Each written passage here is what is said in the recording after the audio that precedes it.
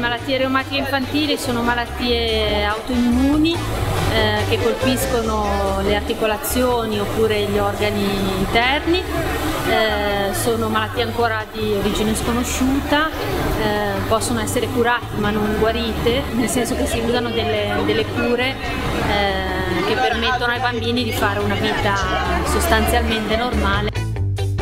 Siamo divertiti molto perché in reparto i bambini sono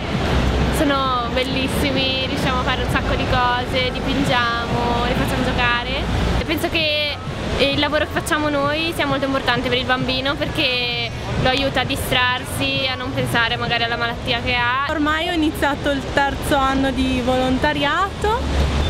sono venuti a presentarmelo a scuola e io ho deciso che sarebbe stata una buona opportunità la giornata mondiale del malato reumatico per dire a tutti che esistono ancora malattie curabili ma non guaribili,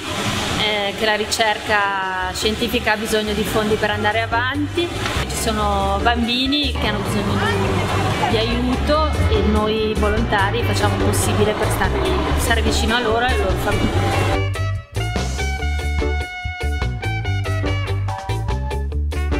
Ambria è un'associazione di volontari, di genitori con bambini malati, malati di malattie reumatiche,